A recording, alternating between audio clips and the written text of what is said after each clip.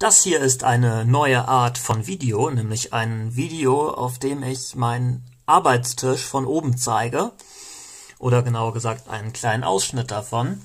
Und das tue ich, weil ich heute etwas äh, konkret Technisches zeigen möchte. Nämlich habe ich vor einiger Zeit das hier bekommen. Und das ist, wie man vielleicht schon erkennen kann, ein ein Apple-Laptop, ein Apple MacBook, muss ich das natürlich nennen.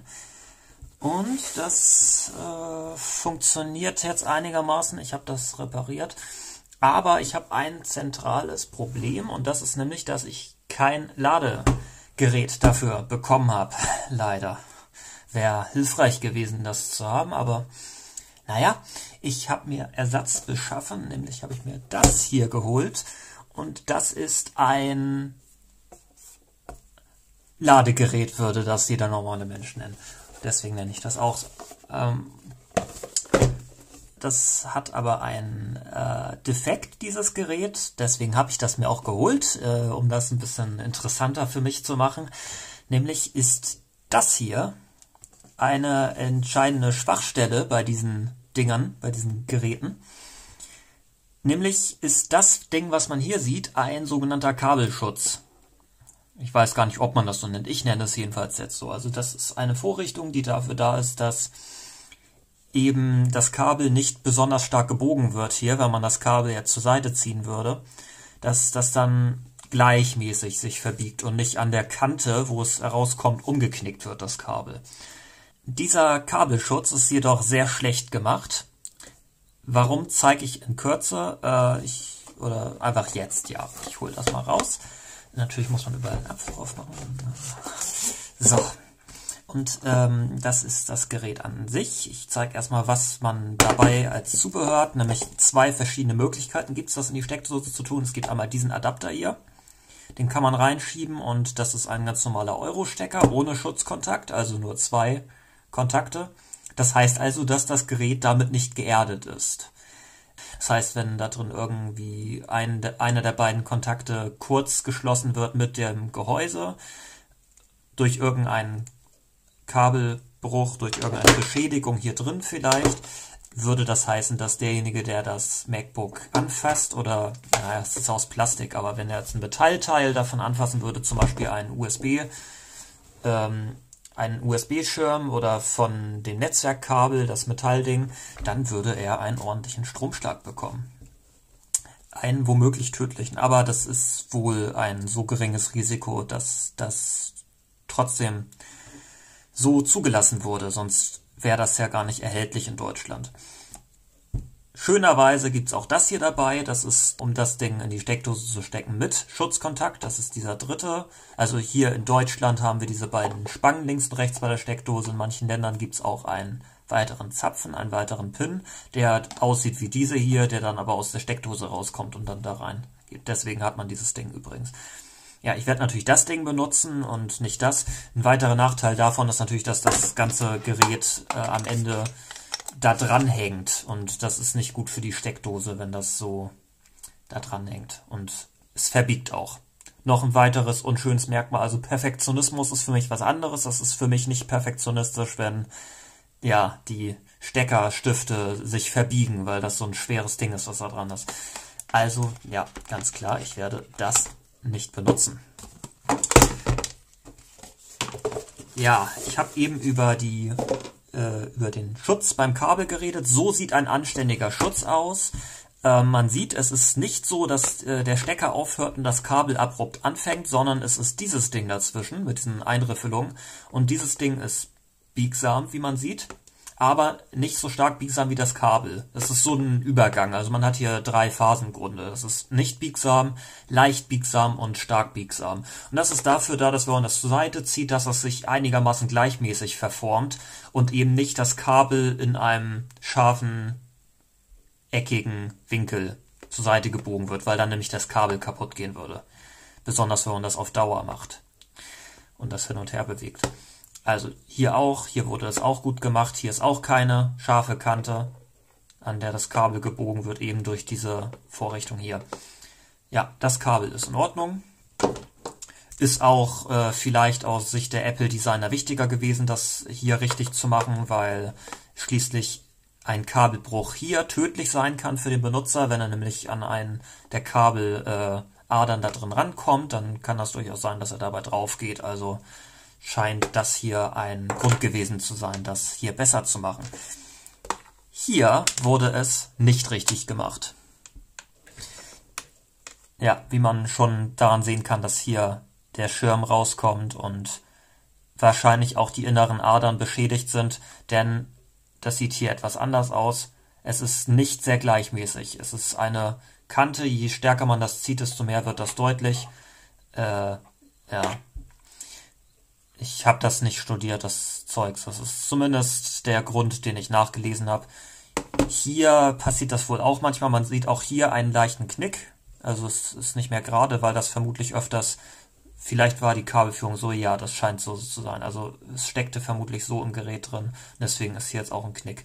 Also diese ähm, Kabelführung hier und hier sieht vielleicht schick aus, aber ist nicht so effektiv wie die andere. Und ich muss das hier reparieren, weil das Gerät nicht funktioniert, weil eben da drin die eine oder andere Ader gebrochen ist. Äh, oder abgerissen ist oder wie man das nennen will. Das ist ein MagSafe-Verbinder, den kennt wahrscheinlich äh, jeder hoffentlich. Wobei das ja impliziert, dass derjenige mit Apple-Produkten vertraut ist. Naja, gut, da will ich nicht weiter drauf eingehen. Ich werde das hier reparieren. Es ist einigermaßen einfach zu reparieren zum Glück.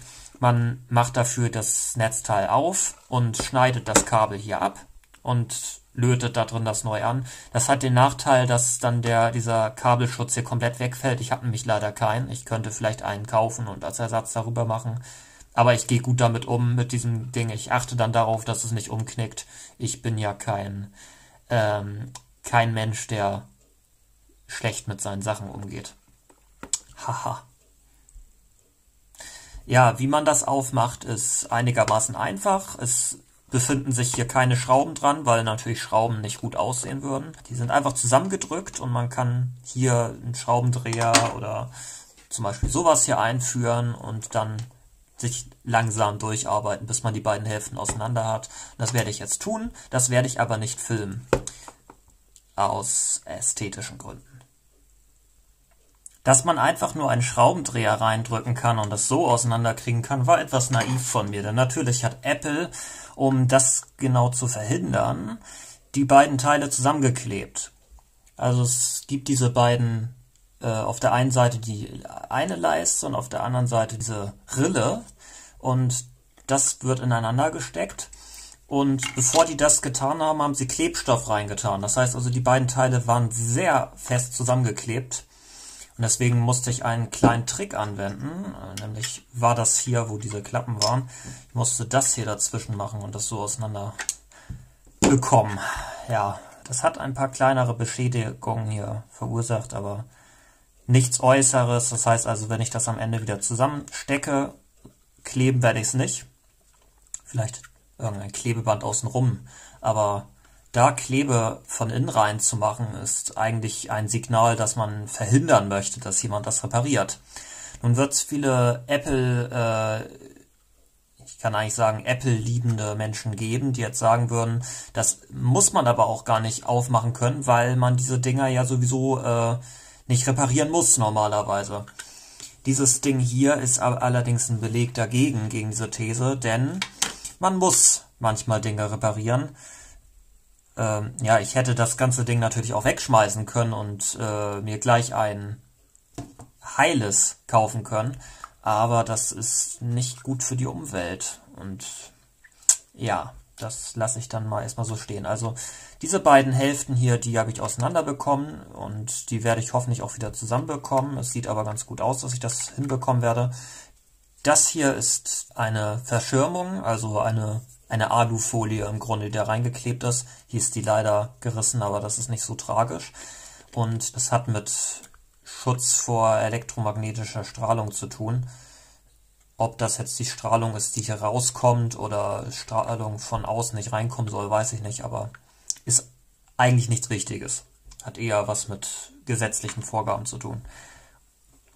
Ja, das ist das Innenleben. Auch hier ist wieder eine, eine Verschirmung rangeklebt direkt und wahrscheinlich auch hier zusammen gespeist. Also wird das auch schwierig sein, das danach wieder zusammenzubekommen. Zumindest die Verschirmung, so wie sie vorher war.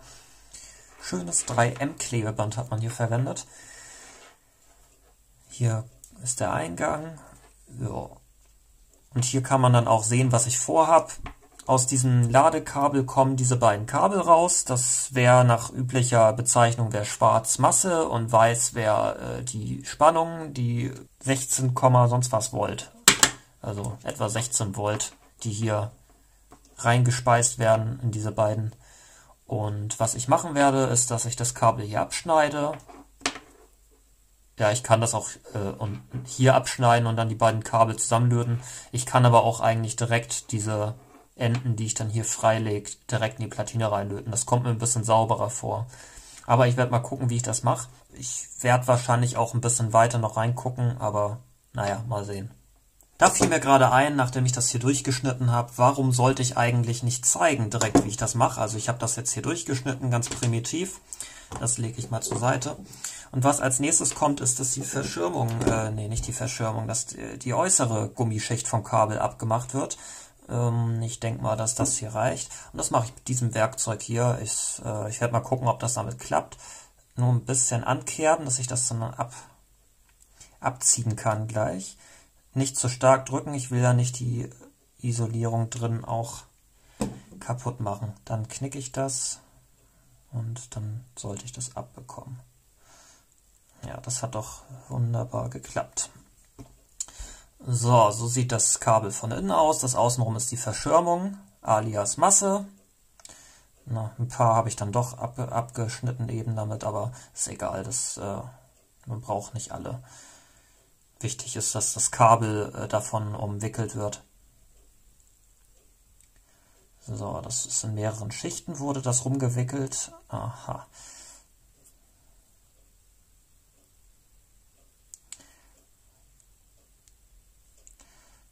So, das Ganze drehe ich zusammen. Ist jetzt eigentlich nicht so wichtig, wie genau man das macht. Und ach, das ist ja sogar noch, äh, noch schlauer gemacht, als ich eben dachte. Also gut, das ist hier Masse, also Minuspol. Und der Pluspol ist dieses Kabel hier. Das heißt, dass gar nicht zwei Kabel da drin, äh, zwei Adern da drin sind, sondern es ist eine Ader drin und ja, man kann es eigentlich auch als Ader bezeichnen. Die andere Ader ist halt außen rum gewickelt. Das hat vielleicht einige Vorteile. So. Auch das wickel ich so zusammen. Und fertig. Und der Logik nach müsste das Äußere jetzt der Minuspol sein und das Innere der Pluspol. Es kann auch sein, dass sie es andersrum gemacht haben. Äh, ich werde es also gleich nochmal überprüfen, aber es ist schon sehr wahrscheinlich, dass das genauso ist. Ja, das kommt dann da rein gelötet, äh, wo der Minuspol rauskommt und das wird daran gelötet, wo der Pluspol rauskommt aus dem Netzteil. Ich könnte das theoretisch auch schon jetzt ganz woanders reinmachen. Ich brauche dieses Ding eigentlich nicht mal. Wenn ich jetzt irgendein anderes 16 Volt Netzteil habe, könnte ich das auch da reinmachen und ja, das wäre zum Beispiel praktisch, wenn man äh, das als Autonetzteil benutzen möchte, weil beim Zigarettenanzünderstecker bei einem normalen Auto kommt 12 Volt raus und man kann einen Umwandler von 12 auf 16 Volt hier anschließen und dann kann man sein MacBook im Auto aufladen. Das fiel mir jetzt hier zum Beispiel ein. Ja, also die Bearbeitung hier ist erstmal fertig, dann kann ich das zur Seite legen und ein bisschen aufräumen, eigentlich nicht so wichtig gibt manche Menschen, die räumen nicht auf in ihren Videos. Ich mache das ganz gerne. Aha. Ja, ich denke, ich werde das so machen, dass ich nicht in der Platine das direkt einlöte, sondern hier das Kabel auch abschneiden werde. Also so.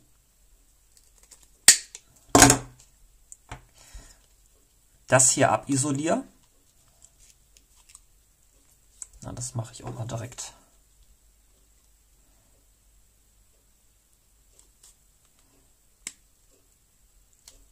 So, das ist schwarze Kabel, also Masse.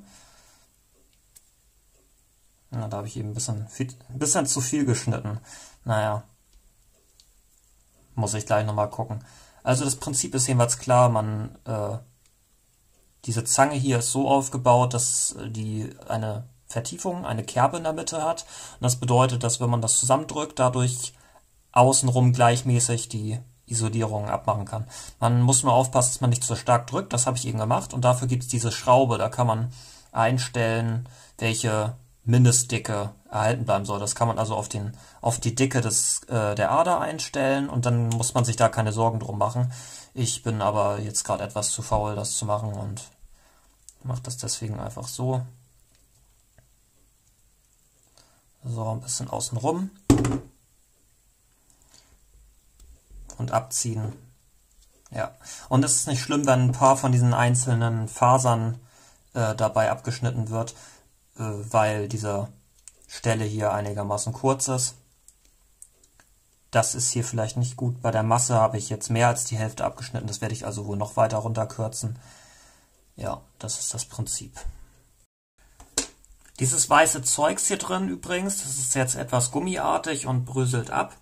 Das ist übrigens äh, Wärmeleitpaste. Das wurde da vor dem Zusammensetzen reingequetscht überall, damit die Hitze, die hier drin entsteht, über, der, über die Metallverschirmung hier gleichmäßig verteilt und dann über das Gehäuse abgegeben werden kann.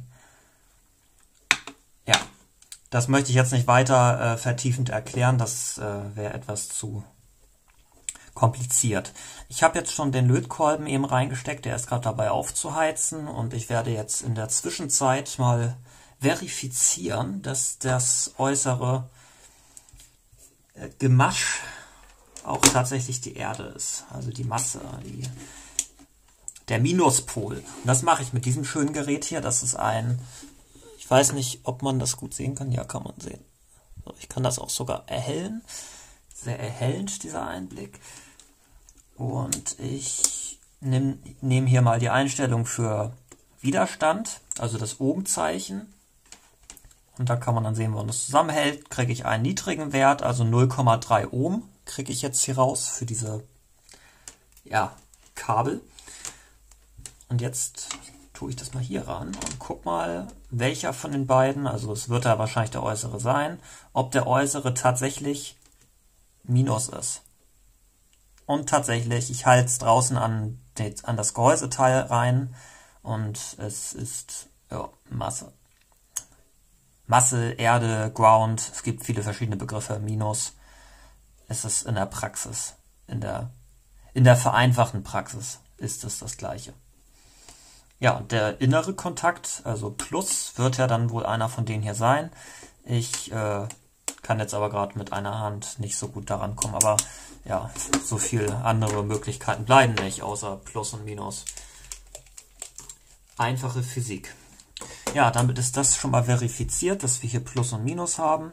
Dann werde ich als nächstes das verzinnen, die beiden Enden. Das, äh, der Anfänger würde jetzt vielleicht so direkt die versuchen zusammenzuhalten und dann zu löten, aber das ist ganz dämlich. Viel besser funktioniert es, wenn man das einklemmt, nämlich hiermit. Das ist so ein kleiner Ständer mit Klammern drauf. Da kann man Sachen festmachen. Und da werde ich dann jetzt hier eins von beiden zuerst nehme ich nehme mal Plus als erstes dann habe ich hier ein Stück Papier, das soll, äh, das soll verhindern, dass, wenn das warm wird, äh, denn wenn man das gleich verzinnt, also mit einem Lötkolben warm macht, dann kann das sein, dass das Plastik auch etwas warm wird und dass dann die, äh, diese Klammer sich da reinfrisst und dann die Isolierung kaputt macht. Deswegen mache ich da ganz gern etwas Papier rum an der Stelle. So, Na, mache ich das mal so, dass das Papier nicht direkt da dran ist, wobei so viel kann ich das auch nicht. So, dann mache ich das so, dass es horizontal ist. Mache ich den Kram mal hier zur Seite. Also, ich bin Rechtshänder, das kann ich gleich mal verraten. Deswegen mache ich das so, dass ich von hier daran kann. Dann nehme ich etwas Lötzinn und dann den Lötkolben, der in eine eine Pistolenform hat, das äh, liegt daran, dass man im Notfall damit dann auch jemanden erschießen kann, wenn man das möchte. Ist nur etwas unhandlich, aber also beim Erschießen. Ja, gut. Komme ich mal direkt zur Sache.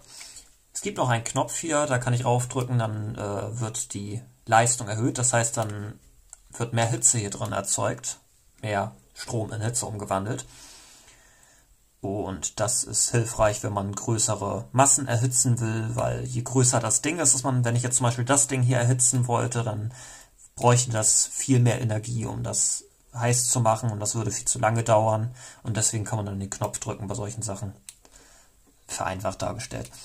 Ja, es sollte jetzt heiß genug sein. Ich kann das überprüfen, indem ich hier das daran halte und gucke, ob es schmilzt. Und tatsächlich, es schmilzt. Und jetzt muss man aufpassen, diesen Dampf, der hier rauskommt, den sollte man nicht einatmen. Deswegen habe ich auch gerade einen gewissen Abstand, den ich gerade einhalte. Ja, dann halte ich das mal daran. So, erstmal ein bisschen ranhalten, damit es heiß wird, damit auch der, äh, der, das Kabel heiß wird. So. Und fertig verzinnt. Jetzt ist dieses Kabel hier mit diesem Lötzinn benetzt. Ja, und hier ist ein Tropfen unten an Lötzinn dran, den ich jetzt abklopfen werde auf meinem Tisch. Und wichtig, wenn man es abklopft, also andere benutzen Schwämme, aber das ist was für Weicheier. Ich klopfe das einfach ab. Und nachdem man es abklopft, sollte man schnell das abkratzen, weil das nämlich heiß ist. Es würde sonst auf dem Tisch Verbrennungsflecken geben, wenn man das, wenn man diese Zinntropfen hier zu lange da drauf lässt. Jetzt sind die auch schon hart. Ja, das ist übrigens hier das Ding, auf dem der Kolben, die Pistole drauf liegt normalerweise. Ja, das ist dann die eine Seite, die ich verzinnt habe und äh, die eine Ader. Und jetzt kommt die andere Ader dran. So.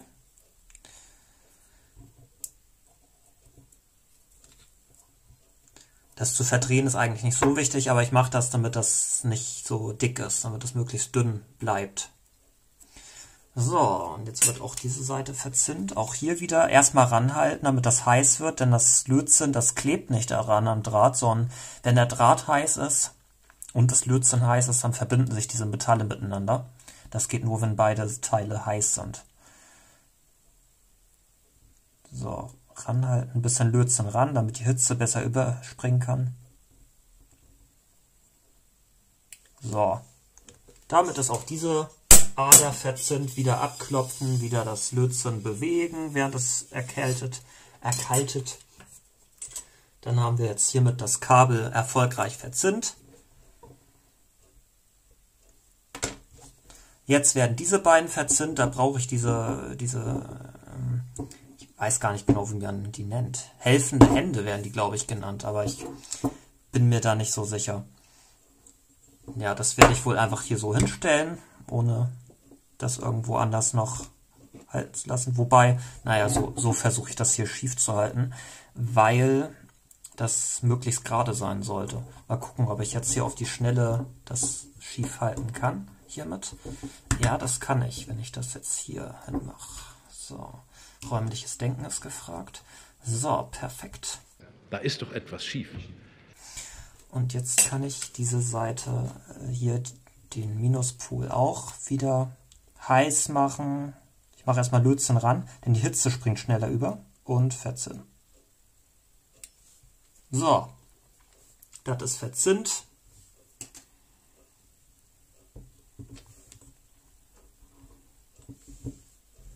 So, jetzt der Pluspol. Auch hier wieder Lötzinn schnell ran, damit die Hitze überspringen kann. Und jetzt wird es heiß und jetzt mehr Lötzinn. Da ist ein bisschen zu viel Lötze dran. So. Abklopfen. Und Lötzinn vom Tisch abkratzen schnell. So. Ja, jetzt haben wir, da ist noch ein bisschen zu viel, das mache ich auch nochmal ab. So. Jetzt haben wir beide Pole an beiden Seiten verzinnt. Ich habe ja eben gesagt, dass ich das nochmal etwas erklären möchte mit dem Zusammenzünden. Also ich habe ja eben gesagt, es müssen beide Teile heiß sein. Es muss das Lötzinn heiß sein und es muss das Metall heiß sein, an das man das ran äh, machen möchte, ranlöten will, das Lötzinn. Und wenn man jetzt zwei äh, Drähte miteinander ver äh, verlöten möchte, dann heißt das, dass der eine Draht heiß sein muss, der andere Draht und das Lötzinn. Man muss also beide Drähte gleichzeitig heiß machen und dann noch zusätzlich das Lötzinn heiß machen. Und das ist manchmal etwas kompliziert, schwierig und es dauert länger, weil nämlich das, der Lötkolben beide Drähte gleichzeitig erhitzen muss. Wenn man jedoch beide Drähte schon verzint hat bei Enden, dann muss man das nur noch nebeneinander halten, das Lötzinn kurz zum Schmelzen bringen, nur für weniger als eine Sekunde, und das reicht dann schon, weil nämlich das Lötzinn des einen und das Lötzinn des anderen sofort geschmolzen ist, zusammenhält und äh, die Drähte selbst gar nicht so heiß werden müssen, weil die ja schon mit dem Lötzinn verbunden sind jeweils. Ja, das ist ein sehr wichtiger Trick, finde ich, das so zu machen. Jetzt kommt ein sogenannter Schrumpfschlauch ins Spiel. Und das Problem wäre jetzt, wenn ich das direkt so jetzt nebeneinander halten und zusammenlöten würde, dass dann das Risiko besteht, dass sich beide äh, Kontakte, wenn ich das Gehäuse wieder zumache, berühren und ein Kurzschluss entsteht.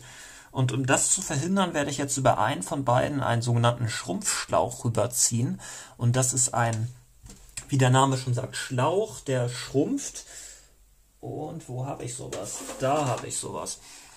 Und diese Schläuche, die werden, wenn, wenn man sie heiß macht, enger. So, jetzt gucke ich mal, welche Breite ich brauche. Ist das hier zu dünn? Ich denke, das ist etwas zu dünn. Das sieht gut aus. Ja, dieses Stück werde ich benutzen. Das äh, muss man dafür über eine der beiden äh, Kabelenden rüberziehen. Hier ist es etwas zu knapp, also werde ich das darüber ziehen. Und außerdem werde ich das wahrscheinlich auch etwas verkürzen, denn diese Lötstelle muss gar nicht so lang sein. Ja, das werde ich tun. Ich schneide also hier jetzt wieder ein bisschen ab. Na, nicht ganz so viel. So.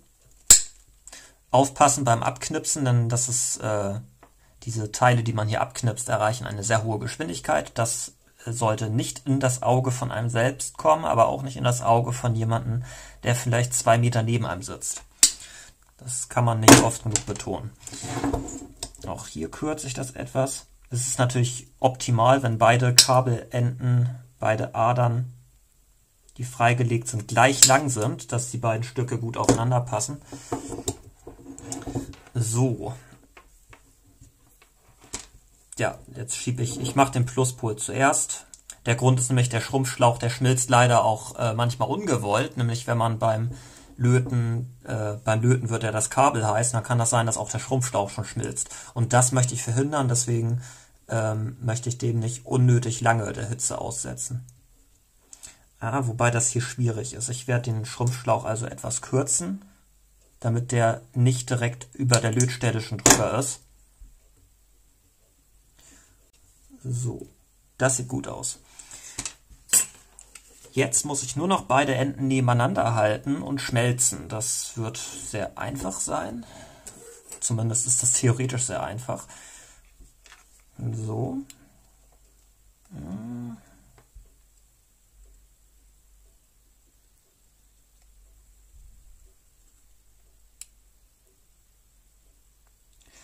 So, und fertig. Jetzt sind beide Aderenden zusammengelötet. Jetzt muss ich nur noch den Schrumpfschlauch darüber ziehen. Wie mache ich das am besten? So, ja, einfach so. So, darüber gezogen. Jetzt muss ich diesen Schrumpfschlauch heiß machen, damit er auch ranschmilzt. Und dafür gibt es ein Werkzeug, das im Grunde ein Föhn ist, nur halt in klein. Da haben wir es. Das ist eine Hot Air Gun. Das ist also im Grunde ein Föhn, der sehr, einen sehr spitzen kleinen Punkt an heißer Luft ausgibt vorne.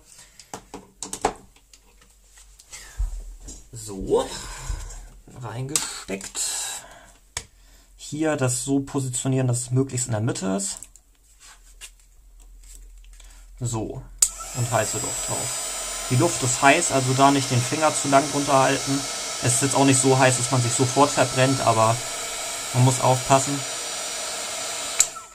dass man nicht irgendwie versehentlich im Hintergrund, weil die, die heiße Luft ist, die geht noch so etwa, ja, bis hier ist sie noch sehr heiß. Das heißt also, wenn ich das jetzt hier zu lang machen würde, dann könnte es sein, dass sich die Tischplatte verfärbt. Man muss also aufpassen, wo man das Ding hinrichtet. Von unten auch nochmal, damit der Schrumpfschlauch von allen Seiten einigermaßen gleichmäßig geschrumpft ist. So, hm.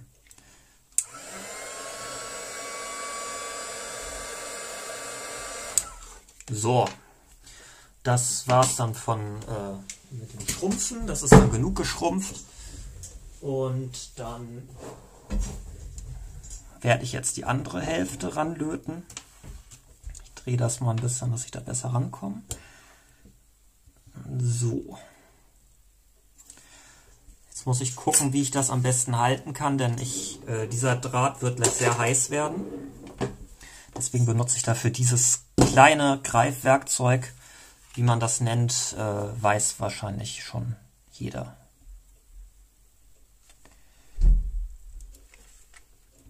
Das ist jetzt etwas friemelig.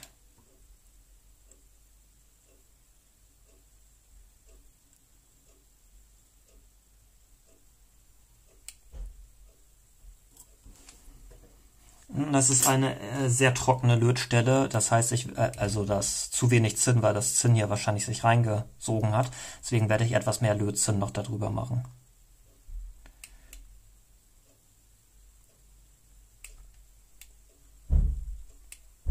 So, das sieht schon deutlich besser aus.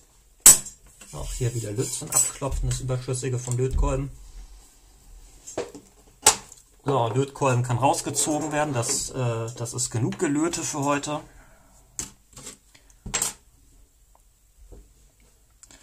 So, und jetzt werde ich mal gucken, wie ich das wieder in das Gehäuse reinbekomme. Und ich werde wahrscheinlich hier noch etwas weiter rumwickeln, damit das hier nicht irgendwo da drin gegenkommt. Wobei das Masse ist, also es sollte nichts machen, wenn das irgendwo hier gegenkommt, aber ja. Das wird jetzt etwas friemelig, das da wieder reinzubekommen und das aufzunehmen würde mich etwas ablenken, deswegen pausiere ich die Aufnahme jetzt mal kurz. Ich habe es etwas billiger gelöst, als ich gedacht habe vorher. Ich habe es einfach zusammengesteckt und mit transparentem Klebeband, dessen Marke ich nicht nennen werde, zusammengeklebt. Das ist sehr robust. Diese tollen Klappen funktionieren auch die ich nicht benutzen würde. Und ich habe das jetzt einfach so hier rausgeführt und werde jetzt irgendwie gucken, wie ich das hier einigermaßen praxistauglich befestigen kann. Ich werde wohl Heißkleber benutzen dafür, damit das nicht ganz so frei herumschwankt und auch ein bisschen gerade gehalten wird. Mal gucken, wie ich das mache. Und so sieht das aus, was ich jetzt daraus gemacht habe. Ich habe das Kabel zur Seite gelegt und mit Heißkleber ordentlich festgeklebt. Und das hat den großen Vorteil, dass es jetzt an der empfindlichen Stelle hier nicht mehr herumwackeln kann, herum hin und her gebogen werden kann. Und das soll also ziemlich lange halten.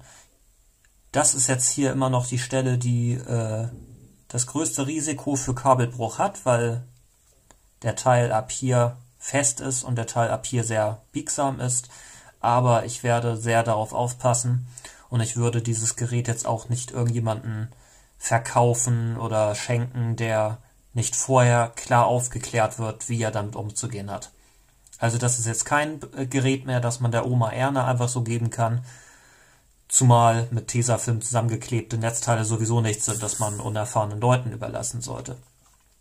Aber ich bin zuversichtlich, dass das Gerät jetzt funktionieren wird und was bringt die Zuversicht, wenn ich das nicht einfach direkt mal ausprobiere? Live im Video. So, das hier rein. Diese Drahtdinger abwickeln.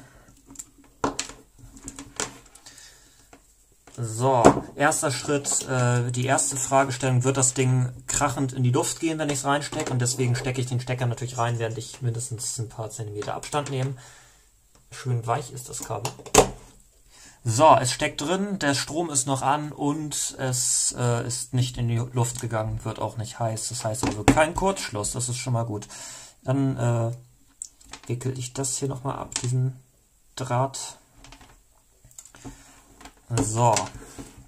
Ja, und jetzt kommt die große, der große Moment, in dem ich das Ding reinstecke in dieses Gerät, das jetzt hier schon seit Monaten rumliegt das ich dann hoffentlich endlich aufladen kann. Mal gucken. Passiert etwas, ist jetzt die Frage.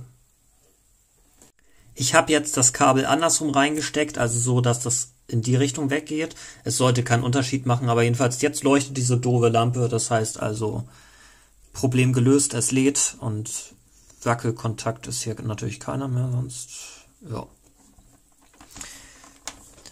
Stellen sich natürlich äh, jetzt äh, Fragen, die man unabhängig von diesem Exemplar stellen muss, nämlich einmal, was bringt Think Different als Konzept? Think Different ist gut bei Brainstormings, um auf neue Ideen zu kommen, um neue Sachen vorzuschlagen und auszuprobieren. Aber Think Different als Produktdesign halte ich für eine mh, mm, schwache Idee. Weil schließlich gibt's ja auch gewisse Gründe, warum man Dinge so tut, wie man sie tut. Besonders im Engineering, besonders im Ingenieurwesen. Ja, also dieses Ding lädt und es funktioniert. Und besonders risikoreich ist natürlich ein Kabelbruch bei solchen Dingen.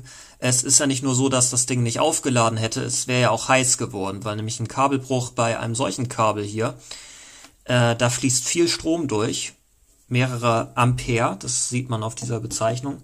Ich glaube drei oder vier Ampere in dem Bereich sind das und drei bis vier Ampere, die durch einen wegen Kabelbruch nur noch sehr dünnen Kontakt durchfließen, sorgen natürlich dafür, dass diese verbliebenen wenigen Fasern sehr, sehr heiß werden. Und das sorgt dafür, dass das Kabel schmilzt, ver, verkohlt, vielleicht sogar ein Brand entsteht dadurch. Und deswegen ist das hier wieder mal eine Beschädigung, die nicht nur dafür sorgen kann, dass, also das, äh, ich habe es ja jetzt behoben im Grunde, aber dieses äh, Fehldesign ist wieder mal eine von diesen ähm, Fehldesigns, die nicht nur dafür sorgen, dass es nicht funktioniert, sondern sogar dafür sorgen können, dass plötzlich das Haus von Oma Erna abbrennt. Und das ist dann nicht mehr so lustig.